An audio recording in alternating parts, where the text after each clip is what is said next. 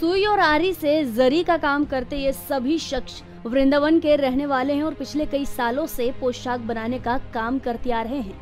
मुस्लिम होने के बावजूद हिंदू धर्म के आराध्य देव भगवान कृष्ण की पोशाक बनाने का काम करते हैं।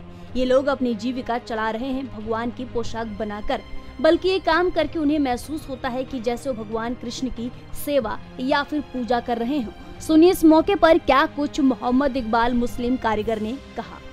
विशेष ये है कि ये ठाकुर जी की पोशाक होते हैं और हमको इनको 10-12 साल से काम करते आ रहे हैं, पिछले 10-12 सालों से।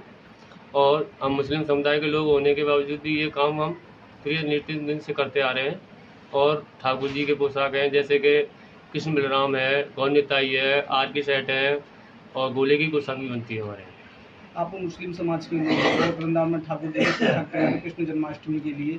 तो क्या यहाँ पे जो भाईचारा वो बना हुआ है इसमें कोई दिक्कत है कोई दिक्कत नहीं है भाईचारा बहुत अच्छा बना हुआ है। हिंदू मुस्लिम में कोई ऐसा बात नहीं है सब लोग मिलजुल के ही काम करते हैं। आपको बता दिए हिंदू और मुस्लिम के लिए एक मिसाल है। एस न्यूज़ रूम की रिपोर्ट।